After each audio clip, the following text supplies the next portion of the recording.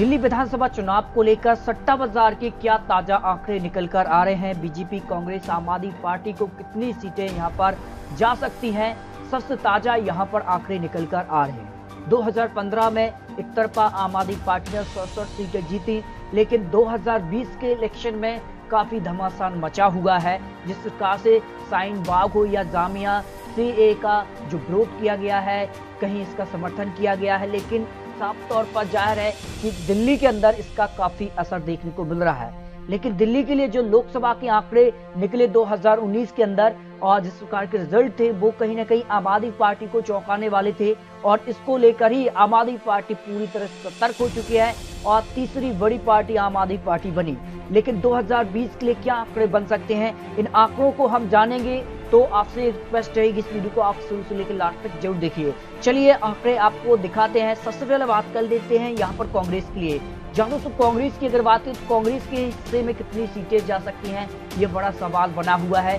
कांग्रेस यहाँ पर कहीं ना कहीं दावे में तो ज़्यादा बेहतर दिखाई नहीं दे रही है, लेकिन घोषणा पत्र जिस प्रकार से यहाँ पर जारी किया है इसमें कहीं ना कहीं आम आदमी पार्टी को यहाँ पर चौंका दिया है। और यहाँ पर अगर बात करें तो दिल्ली में फ्री सेल का माहौल बन चुका है। बीजेपी की बात करें, आम आदमी पार्टी की बात करें, और आखिर में कांग्रेस ने जो यहाँ पर वचन पत्र दिया है, उसमें ऐसा लगने लगा है कि सभी पार्टियाँ अब कहीं ना कहीं दिल्ली को फ्री फ्री प्रोवाइड करा रही हैं। लेकिन इतनी सीटें कांग्रेस के हिस्से में, फ़िलहाल जो यहाँ पर आंकड़े बन रहे हैं, उनमें चार सीटें कांग्रेस के हिस्से में आ सकती हैं। लेकिन कहीं ना कहीं कांग्रेस वो पार्टी है जो आम आदमी पार्टी या बीजेपी का समीकरण यहाँ पर बिगाड़ सकती है।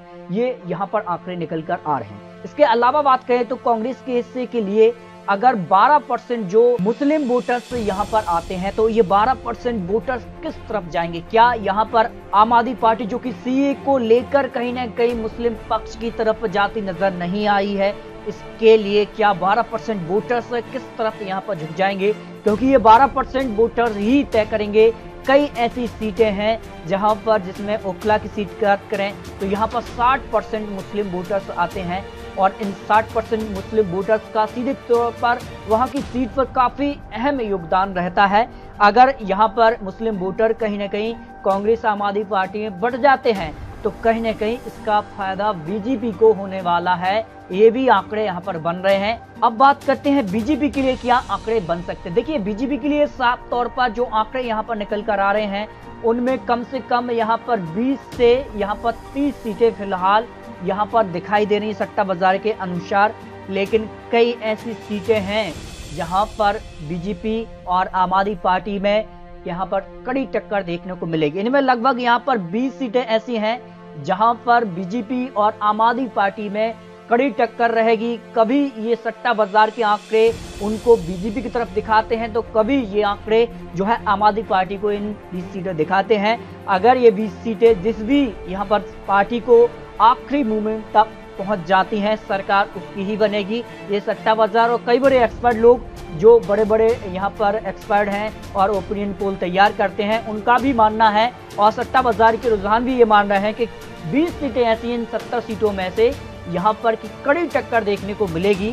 फ़िलहाल जो आंकड़े बनते नज़र आ रहे हैं, जिन पर कड़ा मुकाबला देखने को मिल सकता है तो इन 20 सीटों पर भी नज़र रहने वाली है।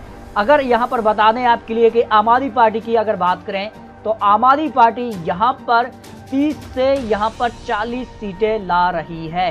तो 30 से 40 सीटें ये अपने दम पर ला रहे हैं, और वोट परसेंटेज भी अगर आपको दिखा दें तो फ़िलहाल जो यहाँ पर एबीपी न्यूज़ ने जो सर्वे दिया, उसमें आम आदमी पार्टी जो है 45 परसेंट वोट शेयर यहाँ पर ला रही है। और बीजेपी की अगर बात कर लें यहाँ पर तो बीजेपी जो वोट शेयर यहाँ पर आ रहा है बीजेपी के लिए तो यहाँ पर 30 परसेंट वोट शेयर बीजेपी के पक्ष में जा रहा है ये आंकड़े बन रहे हैं। और अगर इनमें अगर बात करें यहाँ तो 12 परसेंट जो मुस्लिम वोटर्स हैं, जो आम आदमी पार्टी और यहाँ पर कांग्रेस के पक्ष में जो वोटर्स हैं, जो 12 परसेंट है। अगर ये 12 परसेंट मुस्लिम वोटर्स यहाँ पर आम आदमी पार्टी और कांग्रेस में बढ़ जाते हैं तो इसका फ़ायदा सीधा बीजेपी को होने वाला है। इसके अलावा अगर बात करें तो जो यहाँ पर परसेंटेज निकल कर आ रहा है कि 12 परसेंट लोग ऐसे हैं, जो ये मान रहे हैं कि तय नहीं कर सकते वो किसके पक्ष में जा रहे हैं। ये 12 परसेंट लोग आखिरी मूवमेंट पर तय करेंगे, वो किसके पक्ष में जाते हैं। अगर ये बीजेपी की तरफ़ चले जाते हैं तो ये बीजेपी का जो आंकड़ा है परसेंटेज का, वो 45 पार चला जाएगा। और आम आदमी पार्टी में और कांग्रेस में जो 12 परसेंट मुस्लिम वोटर हैं, जो कि 2015 में सीधे तौर पर मुस्लिम वोटर ने आम आदमी पार्टी को सपोर्ट किया था तो ये जो आंकड़ा है, जो 12 परसेंट से घटकर यहाँ पर आम आदमी पार्टी का 35 परसेंट पर आ जाता है। तो फिर सीधे तौर पर बीजेपी यहाँ पर पलटवार कर सकती है, ये आंकड़े बन सकते हैं, ऐसे अनुमान यहाँ पर लगाए जा रहे हैं। इसके अलावा अगर आपको आंकड़े और भी दिखा दें, जिनमें बीजेपी और आम आदमी पार्टी कड़ी यहाँ पर चुनावी प्रचार में है और बीजेपी के यहाँ पर कह सकते हैं कि प्रधानमंत्री मोदी जी अब चुनावी रैलियाँ करेंगे और इसके अलावा कांग्रेस की तरफ़ से यहाँ पर सोनिया गांधी के नेतृत्व में यहाँ पर राहुल गांधी और अगर बात करें तो यहाँ पर प्रियंका गांधी अब चुनावी रैलियाँ करने वाले हैं तो ऐसे में कांग्रेस का जो पलरा है वो कितना भारी हो सकता है, ये भी बहुत जल्द इसके आंकड़े भी जारी होने वाले हैं। लेकिन फ़िलहाल जो यहाँ पर तस्वीर बन सकती जिसमें बीजेपी के लिए अगर बात करें और यहाँ पर आप की बात करें तो और कांग्रेस की अगर बात करें तो कांग्रेस के हिस्से में फ़िलहाल यहाँ पर चार से पाँच समथिंग यहाँ पर सीट जा सकती हैं। आम आदमी पार्टी की अगर बात करें तो आम आदमी पार्टी यहाँ पर लगभग 40 सीटें, और अगर बात करें बीजेपी के लिए तो लगभग 25 या 30 सीटें फ़िलहाल यहाँ पर बीजेपी की दिखाई दे रहे हैं। लेकिन बड़ा सवाल ये है कि जो तय नहीं कर सकते ऐसे 12 परसेंट वोटर्स हैं। और अगर बात करें कांग्रेस के लिए, जो यहाँ पर 12 परसेंट मुस्लिम वोटर्स हैं, वो यहाँ पर कांग्रेस और ये बढ़ जाते हैं तो फिर फ़ायदा बीजेपी को होगा। और जो 20 सीटें हैं, अगर इन 20 सीटों में से जो कड़ी सीटें मानी जा रही हैं, उन 20 सीटों का जिस भी यहाँ पर पार्टी को समर्थन मिल जाता है, वो सीटें जीत जाती है, सरकार उसकी बन जाती है। फ़िलहाल ये आंकड़े यहाँ पर बन रहे हैं। लेकिन आने वाले समय के लिए अगर आपने चैनल को सब्सक्राइब नहीं किया है तो कर लीजिए ताकि आने वाली जानकारी का नोटिफिकेशन आपको टाइम का मिलता रहे। और एक और नई जानकारी के साथ और नए यहाँ पर विश्लेषण के साथ एक बार से आपके सामने फिर हाजिर होंगे। तो तब तक के लिए जय हिंद, जय भारत।